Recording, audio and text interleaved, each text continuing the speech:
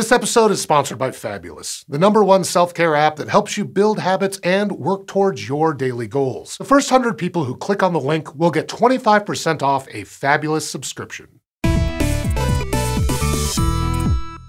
Besides our sun, the Crab Nebula might be the most studied thing in the sky. Who could help but look at all those glorious colors? But colors aren't the only thing hiding in this nebula. To get past all the dust and see what's inside, scientists had to check each wavelength outside the visible spectrum. So scientists have photographed the Crab Nebula in the entire electromagnetic spectrum, from short gamma waves to long radio waves, and uncovered its complexities beyond what meets our eyes. In 1054 CE, astronomers astronomers in China saw a star shining brighter than it ever had before. It had just gone supernova. In this month long ordeal, it spilled its cosmic guts across the night sky, leaving behind what we see today as the Crab Nebula. They witnessed the birth of a nebula, but the nebula itself wasn't observed until hundreds of years later with old timey telescopes. That's when it earned the name Crab Nebula, due to its resemblance to a crab. Or maybe it used to look more like a crab back then. We know today from observations across different electromagnetic wavelengths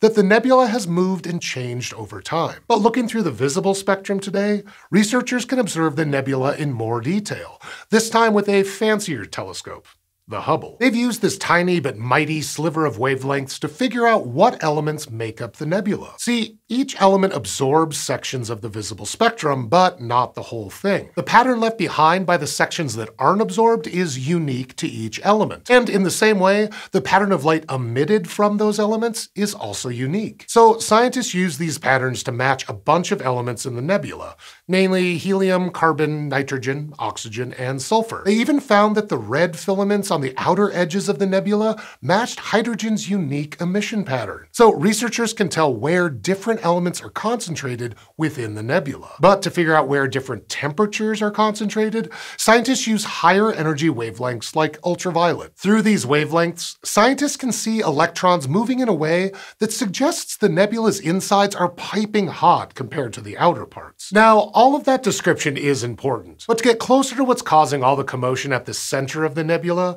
researchers had to switch to X-ray wavelengths using the Chandra X-ray Observatory. Through this lens, they figured out that the nebula's scalding center heated up electrons so much that they reached a higher energy level. Then, when the electrons relaxed, they released photons that were also observable in X-ray wavelengths. These particles were so energized that they formed a disk swirling like a spinning top around a vertical stream that runs right through the center and ejects particles from each end. The curved swirling paths of these electrons generate a distinctive signature of radiation, like those inside a particle accelerator. But getting to know that mysterious internal force requires different electromagnetic wavelengths. So to peer inside and get to the heart of what's energizing all these particles, you have to penetrate through all the dust swirling around. One way to pierce through the gaseous outside is by using longer wavelengths, like infrared, microwave, and radio. See, visible light is about the size of dust particles,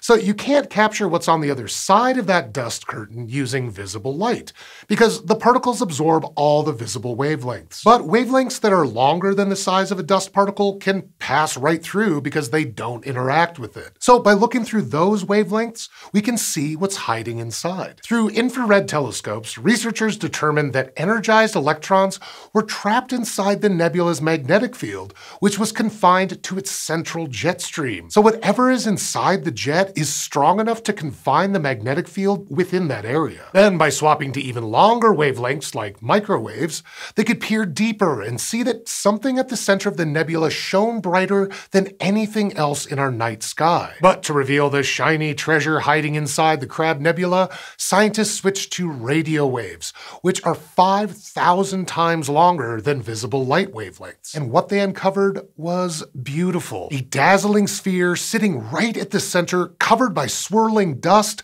pulsing at 30 times per second like a supercharged lighthouse, a powerhouse known today as a pulsar. The pulsar at the center of the Crab Nebula created winds that expanded the nebula's gas even further, releasing energy in the form of gamma rays and other types of electromagnetic radiation. And with a gamma ray telescope, researchers observed it released much more energy than they previously thought was possible. So by looking at the nebula through the whole electromagnetic spectrum, scientists showed us that the Crab Nebula is beautiful on the outside and the inside, hiding a scientific discovery at each wavelength. When it comes to studying space in various wavelengths, the sum is greater than the whole. And habits work in a similar way. Small, tiny steps can help you build habits that'll last a lifetime.